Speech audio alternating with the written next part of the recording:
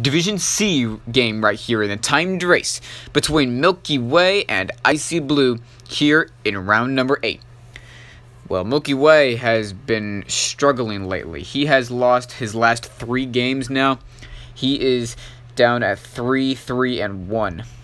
He is um, at 500 for the first time since going into round 2 when he was 0 0 and 1. And Icy Blue He's trying to get him to four and four. He started off one and three, so he'd be pretty hot if he can win this game right here. It'd be a big victory for him. Being a rookie, mm, he'd be excited with a win right here. He has the advantage, and playing against a stumbling Milky Way marble, he's got a chance right here. But anyway, let's see what happens in this game right now. Here we go, kicking off the game right now. Milky Way going first. The first try right here for Milky Way. This is going to be a slow one. It's a 38. Icy Blue has an opportunity here to take over on this first try. And he is. He's um, almost tripped up there at the top. A 32. Great first try for Icy Blue. And now for the second try. Milky Way. Had a slow ending right there. Man, that could have been close to the 20s if he didn't hesitate.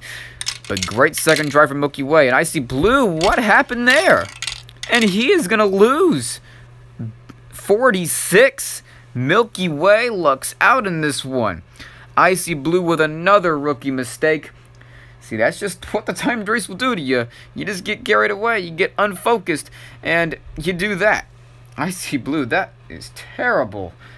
Rookie mistake again. Icy Blue cannot be giving up that.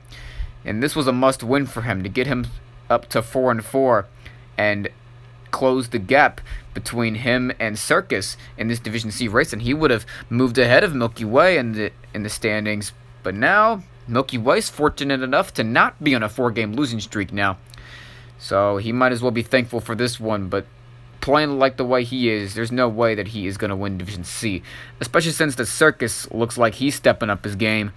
And he's looking like he's going to take over this division and, and win it in the end and make the playoffs as a top four seed. But anyway, Thank you guys so much for watching this. I will see y'all later for some more games coming up.